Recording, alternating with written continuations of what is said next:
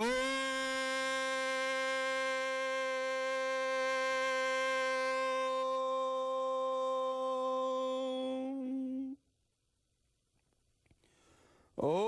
अज्ञानतिम्रान्धस्य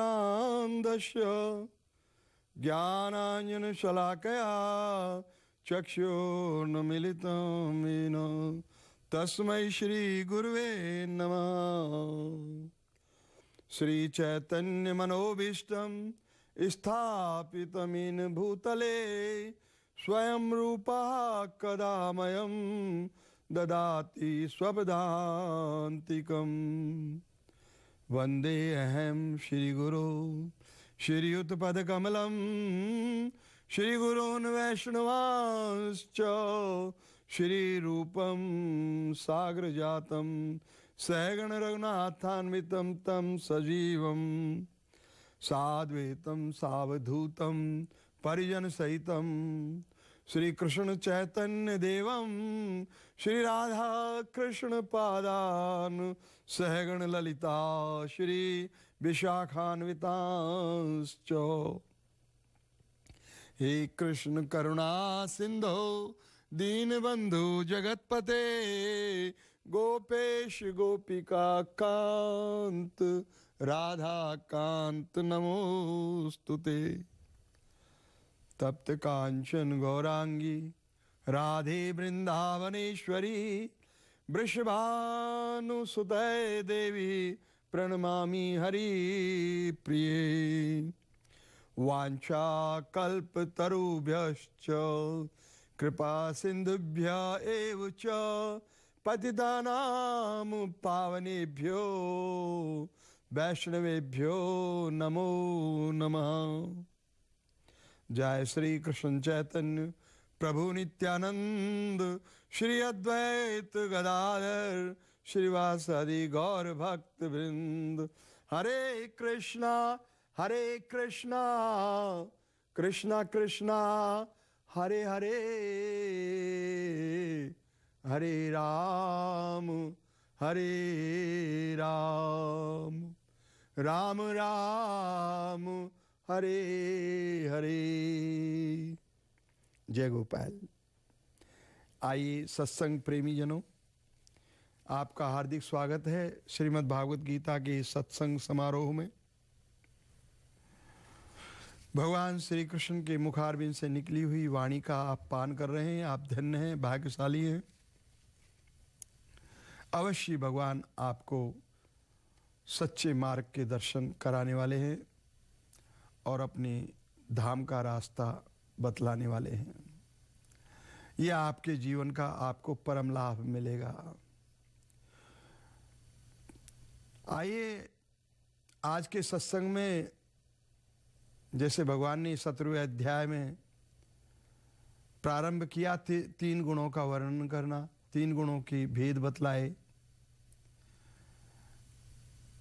तो इस विषय में काफ़ी प्रवचन किए, सत्संग हुआ। लेकिन फिर भी थोड़ा प्रकाश फिर से डालते हैं, पुनः डालते हैं, क्योंकि सृष्टि के प्रारंभ में इन तीन गुणों की उत्पत्ति होती है। और ये मूल अहंकार से ही तीन गुण प्रकट होते हैं। अहंकार ही अपनी तीन शाखाएँ बनाता है उसी से ये संसार फैलता है। उसमें पहली शाखा सतोगुण की है, दूसरी शाखा रजोगुण की है और तीसरी तमोगुण की है। भगवान श्री कृष्ण ने ये तीन गुणों के आधार से ये पूरे संसार की रूपरेखा समझाई, श्रद्धा समझाई। श्रद्धा, है अर्जुन, तीन प्रकार की होती है। सतोगुणी श्रद्धा होती है, रजोगुणी श्रद्धा होती है। तमोगुणी श्रद्धा होती है। फिर यज्ञ, दान, तप, ये तीन तीन इनका भेद बतलाया। ये भी तीन तीन फैकल्टीज में बांटे कि यज्ञ, दान और तप भी रजोगुणी सतोगुणी तमोगुणी होते हैं। भगवान श्री कृष्ण ने इन विषयों को बतलाते हुए अर्जुन को काफ़ी समझाया और ये कहा कि इनमें सबसे श्रेष्ठ सतोगुण है। सतोगुण है जो भगवान की याद दिलाता है, भगवान की ओर ले जाता है, सच्चे मार्ग पर जीवन को, जीवन की रथ, जीवन के रथ को चलाता है। रजोगुण भटकाता है, संसार में बार बार पुनरपि मरणम, पुनरपि जन्म बार बार मरते हैं, जन्म लेते हैं, मरते हैं, जन्म लेते हैं। इच्छाएँ बनी ही रहती हैं, कभी खत्म नहीं होती, और ये आदमी बार बार ये धराधाम पर जन्म लेता रहता है। यदि रजोगुण अच्छे रूप का है तो मनुष्य योनि में आ जाता है। रजोगुण भी निम्न श्रेणी का है तो मनुष्य योनि से स्लिप होकर के और जानवरों में भी चला जाता है। फिर तमोगुण को तो बहुत ही खराब बोला है, क्योंकि तमोगुण के सारे कर्तव्य, चाहे श्रद्धा हो, तमोगुणी, या तप हो, या दान हो, या यज्ञ हो, या कोई और कार्य हो तमोगुण खतरनाक बतलाया। भगवान ने यह भी कहा कि कभी कभी सतोगुण प्रबल हो जाता है मनुष्य के हृदय में, मनुष्य की चेष्टाओं से, मनुष्य के खान पान से, व्यवहार से, आचरण से। सतोगुण की वृद्धि हो जाती है तो सतोगुण रजोगुण तमोगुण को दबा देता है। वो होते हैं, लेकिन बहुत निम्न स्तर पर आ जाते हैं सतोगुण प्रबल हो जाता है। उस समय व्यक्ति आध्यात्मिक तरक्की करता है, हर प्रकार से वो सुखी और ज्ञानवान बनता है, फलता फूलता है। कभी कभी रजोगुण ऊपर आ जाता है, प्रबल होकर के, और सतोगुण को और तमोगुण को दबा देता है। तब आदमी ये, जैसे आप देखते हैं राजनीति में उतरता है, या पद प्रतिष्ठा के लिए पूरे प्रयत्न करता है, जीवन भर अथक प्रयास करता रहता है कि मुझे मान मिले, सम्मान मिले, सीट मिले, पद मिले, धनवान बनूं, लोग मेरे गले में माला डालें। सभी प्रकार से ये रजोगुण की फैलाव करता है, रजोगुण फैलता है। संसार में जैसे जाल फैलता है, ऐसे ही रजोगुण एक जाल बुनता है अपने लिए। जिसमें फंस जाता है और ये जन्म मरण के भंवर से नहीं निकल पाता। सुख तो है ही नहीं, रजोगुण में सुख नहीं बतलाया। भगवान ने कहा, रजोगुण में दुख प्राप्त होते हैं, चिंताएँ प्राप्त होती हैं। फिर निम्न स्तर पर तमोगुण है, तमो, भगवान ने कहा कि कभी कभी तमोगुण ऊपर चला जाता है, प्रबल हो जाता है और सतोगुण रजोगुण को दबा देता है। जैसे कोई बच्चों को दबा दे, कोई बड़ा, बलिष्ठ आदमी पहलवान आदमी ऐसे ही ये पाँव के नीचे ले लेता है तमोगुण। तब जाके आदमी जो है दुष्कर्म करता है, बुरे कर्म करता है, पाप कर्म करता है, धोखा देता है, बेईमानी करता है, चोरी करता है डाका डालता है, कत्ल करता है, रेप करता है। सब प्रकार के अवगुणों का भंडार बन जाता है। भगवान श्री कृष्ण ने सतोगुण को श्रेष्ठ बतलाया। सतोगुण में आदमी शुद्ध कार्य करते हुए अपने जीवन को सुखी सुखी, ज्ञान गम्य होकर के, अनुभव गम्य होकर के जीता है और परमेश्वर से नेह लगा करके एक दिन परमेश्वर का शुद्ध भक्त बन करके, महान आत्मा बन करके भगवान के धाम को वापस चला जाता है, जहाँ से कभी वापस नहीं आना पड़ता ये भौतिक दुनिया में, ये जन्म मरण में मुक्त हो जाता है। भगवान के धाम में उसको एक आध्यात्मिक शरीर की प्राप्ति हो जाती है, जो सदैव है इटरनल है फॉर एवर है, ऐसा एक शरीर मिलता है, उससे भगवान के साथ में जैसे जैसे भगवान की प्रेरणा होती है, भगवान की सेवा करता है, भगवान के साथ बैठता उठता है, भगवान के सानिध्य में रहता है, भगवान को रिझाने का प्रयास करता है, भगवान के बाग लगाता है, सींचता है, फूल तोड़ता है, भगवान के चरणों में चढ़ाता है, आनंद मग्न रहता है। वो परम आनंद है। भगवत प्राप्ति परम आनंद है। वो सतोगुण के माध्यम से ही प्राप्त हो सकती है, पहले नहीं। रजोगुण, तमोगुण के माध्यम से नहीं। ऐसे ही, जैसे एक शरीर के ऊपर ये रजोगुण, तमोगुण सतोगुण सवार हो जाते हैं, ऐसे ही समाज के अंदर भी और ये पूरे ब्रह्मांड में वही रूपरेखा है। समाज में कभी सतोगुण प्रबल होता है तो ये पृथ्वी सतयुग में विचरण करती है, सतयुग में प्रवेश कर जाती है। ये पृथ्वी सत सत स्वरूपा हो जाती है, पवित्र हो जाती है। पवित्र आत्माएँ, पवित्र महात्माएँ जन्म लेते हैं इसके ऊपर। शुद्ध महावीर जन्म लेते हैं इसके ऊपर। बुद्ध और गुरु नानक जैसे चैतन्य महाप्रभु, मीरा जैसी आत्माएँ प्रकट होती हैं। सभी घरों में। सत्युग में बच्चे भी परमहंस की तरह होते हैं। क्योंकि सत्यता होती है, नाम ही सत्युग है। जहाँ पर सत्यता है, जहाँ सत्य का बोलबाला है और झूठ का मुँह काला है, वो सत्युग है। जब सतोगुण की प्रबलता होती है तो सत्युग व्याप्त होता है इसी पृथ्वी पर, समाज में। जब रजोगुण की बाढ़ आती है तो ये पृथ्वी, ये जन्म मरण के भौर में पड़ी रहती है। लोग पद प्रतिष्ठा के लिए पचते हैं। सारा समाज, सभी कोई धनाट बनना चाहता है, सभी कोई बलिष्ठ बनना चाहता है, सभी कोई अपनी पद प्रतिष्ठा पाना चाहता है, सभी अपने आप को भैंसासुर समझने लगते हैं, यानी महान समझने लगते हैं पावरफुल समझने लगते हैं। किसी से कोई कम नहीं समझता। रजोगुण में आदमी अपने बाप की भी नहीं मानता। जब रजोगुण सवार होता है, किसी की नहीं सुनता, ना गुरु की, ना पिता की, न माता की। ये रजोगुण है। और कभी कभी इस समाज में तमोगुण छा जाता है। तमोगुण छा जाता है तो तमाम समाज के अंदर, समाज की बुद्धियों के ऊपर तमोगुण सवार होता है अधिक मात्रा में, और रजोगुण सतोगुण दब जाते हैं। तब जाके घोर कलयुग प्रवेश करता है। जहाँ पर हर कार्य पापमय होता है। झूठ ही लेना, झूठ ही देना, झूठ ही भोजन, झूठ चबेना, ये क्रियाएँ होने लगती हैं। इस प्रकार से भगवान ने इन तीनों गुणों का विशेष महत्व बतलाया और इन तीनों गुणों से कैसे मुक्त हुआ जा सकता है, गुणातीत कैसे हुआ जा सकता है क्योंकि संसार में तो तीनों गुण व्याप्त रहेंगे?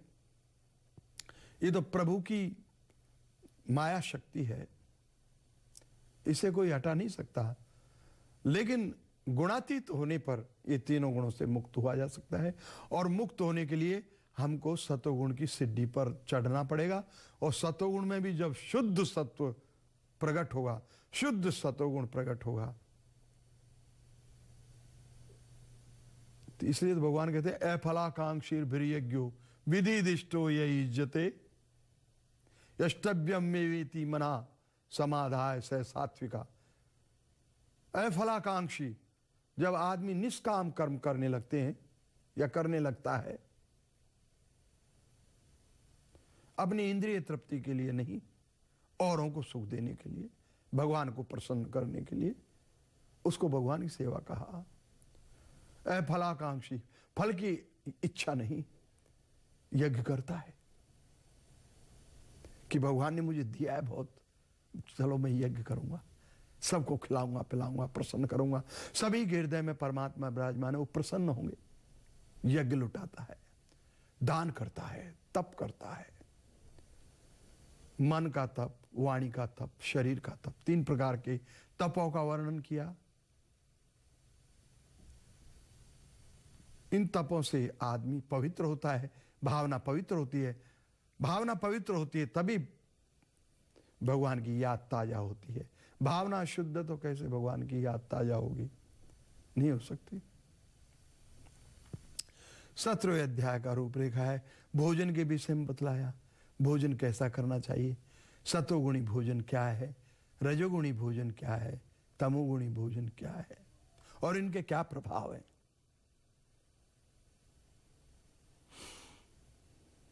मन है प्रसाद है, सौम्यत्व। मन का तप बतलाया।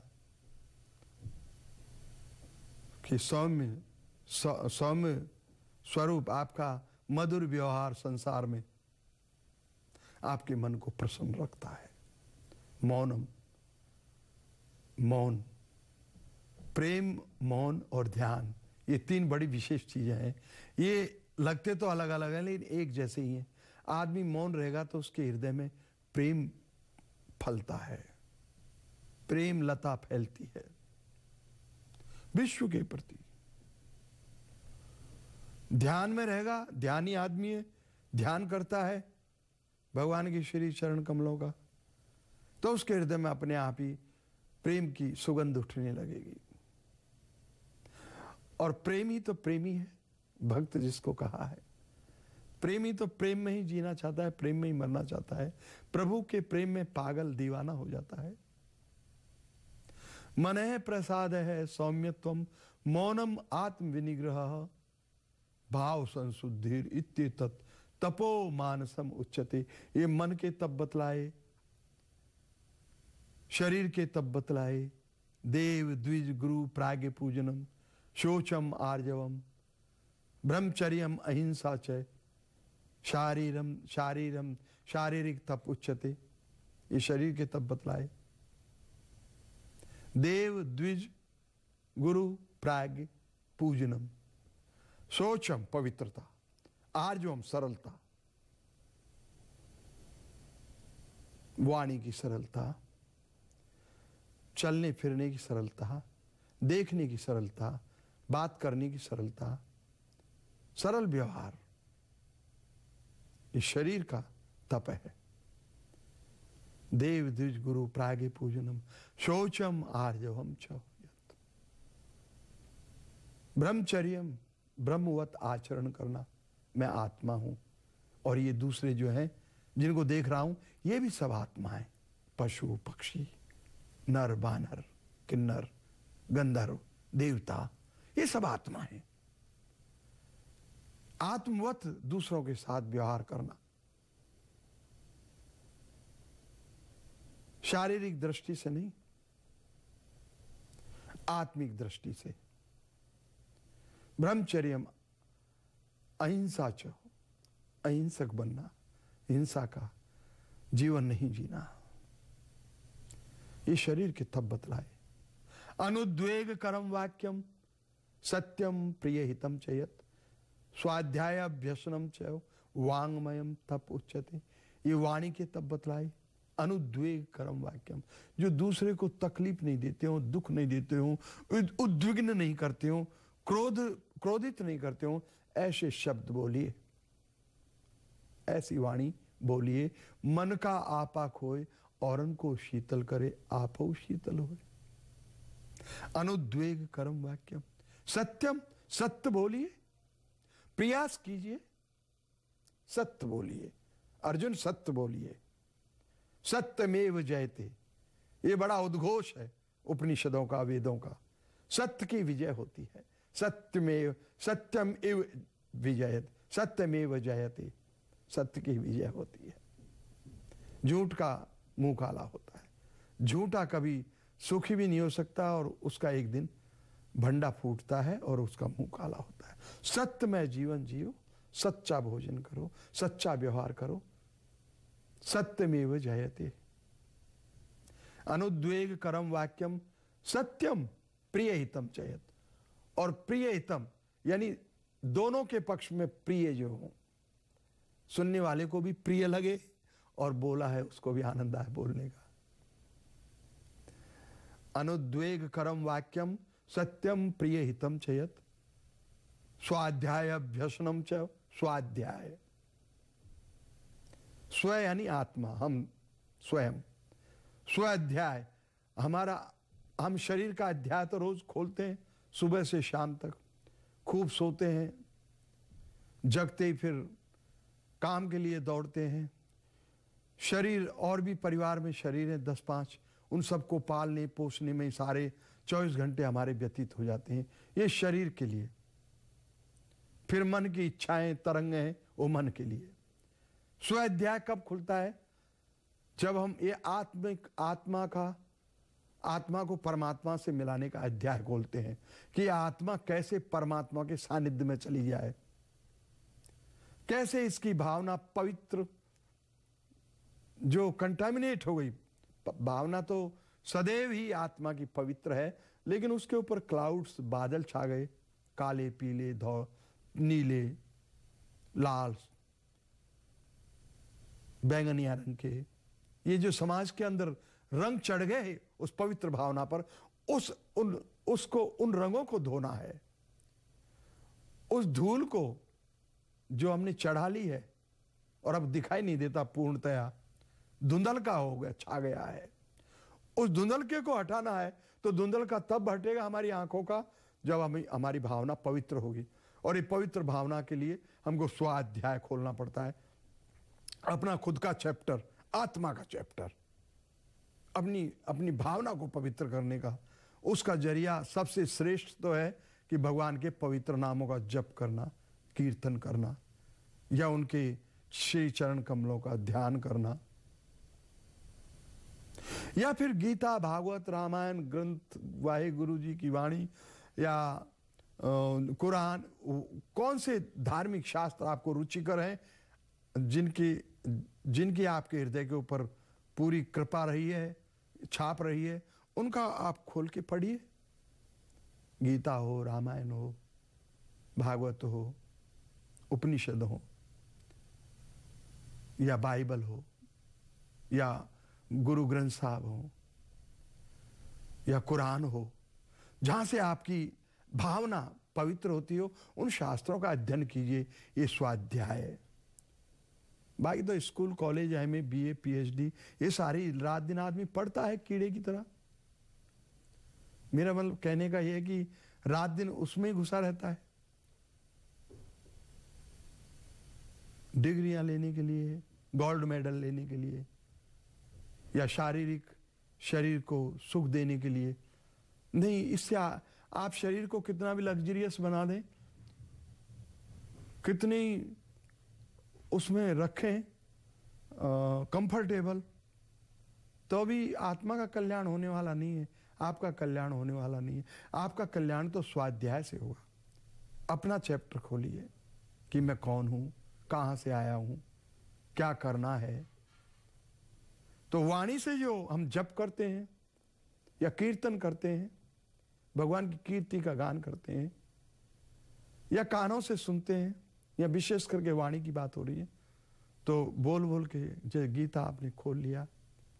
यम यम वापी स्मरम भावम त्यजत्यंते कलेवरम तम तमय वैती कौनते सदा तदभाव भावित इससे आपकी भावना पवित्र होती है। आपके अंदर कोई विशेष ऊर्जा भरती है, जिससे आप पवित्रता की ओर बढ़ते हैं। भगवान की ओर बढ़ते हैं, मोक्ष की ओर बढ़ते हैं। एक सतपथ पर आपका जीवन का रथ दौड़ने दौड़, दौड़ना, दौड़ने लगता है, दौड़ना शुरू करता है। स्वाध्याय से। जब से भी, जब सबसे श्रेष्ठ है। भगवान क्या है यज्ञों में नाना प्रकार के यज्ञ हैं अर्जुन। इनमें यज्ञों में जप यज्ञ में हूँ। जप यज्ञ श्रेष्ठ है। आप भगवान के पवित्र नामों का जप कीजिए। जो भी आपको प्राप्त हुआ है गुरु महाराज से, या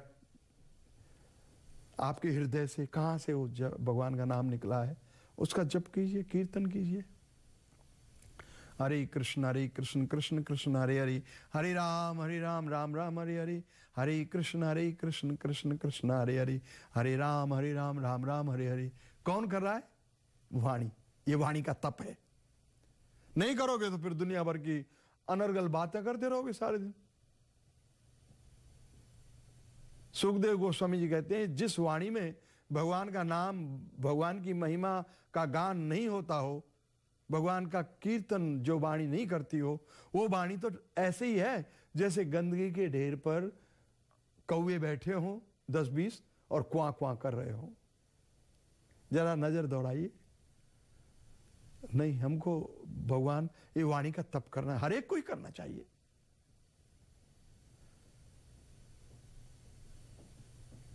कोई भी जो आपको भगवान का नाम मिला है, उसका जप करना चाहिए। भगवान का कीर्तन, भजन गाना चाहिए। Sing sing a song for him. Sing a song for him. Hare Krishna Hare Krishna Krishna Krishna, Hare Hare. Hare Ram, Hare Rama, Ram Ram, Hare Hare. Meera Meerabai क्या करती थी? भगवान के गीत गाती थी। मेरो तो गिरधर गोपाल, दूसरो न कोई, जाके सिर पे मोर मुकुट मेरो तो पति सोई। चैतन्य महाप्रभु क्या करते थे? कीर्तन करते थे। कीर्तन सदा हरि सदैव कीर्तन करो। सदैव हरि का कीर्तन करो। गुरु नानक देव क्या करते थे? कहीं भी, जहाँ भी जाते थे देश विदेशों में, कोई उनसे कोई प्रश्न करता था कि क्या भगवान है? तो वो बोल करके जवाब नहीं देते थे। वो गा करके जवाब देते थे। जैसे कोई पूछता था ऐसे तुरंत उनके साथ एक मर्दाना रहते थे, उनके बहुत सेवक थे। उनसे कहते, छेड़ो मर्दाना। तो सितार, सारंगी सब उनके साज रहते थे साथ में और साज बजाता था मर्दाना, गुरु नानक देव गाने लगते थे, उस हरि का गीत गाने लगते थे। हर हर नाम जपंत्या किचु न कहे जमकाल, नानक तन नानक मन तन सुखी बसे, अंत मिले गोपाल। सांस सांस, सिमरू गोविंद, मन अंदर की उतरे चिंद। गागा की संत तुकाराम, नामदेव महाराज बड़े बड़े संत हुए हैं। भगवान के गीत गा गा के, हरिदास, तानसेन के गुरु जी हरिदास, महान भक्त, जिन्होंने वृंदावन के बांके बिहारी जी को ज़मीन से निकाला भगवान के कहने से और उनकी स्थापना की। बांके बिहारी मंदिर, जो वृंदावन का सबसे उच्च मंदिर है, सबसे ज़्यादा दर्शन करने वाले लोग उस मंदिर में आते हैं। बांके बिहारी लाल की जय। स्वाध्याय अभ्यसनम च वांगमयम तपुच्छदे तो स्वाध्याय का हमको अभ्यास करना चाहिए, अपना चैप्टर खोलना चाहिए अपनी, कि हम कौन है, कहाँ से आए हैं।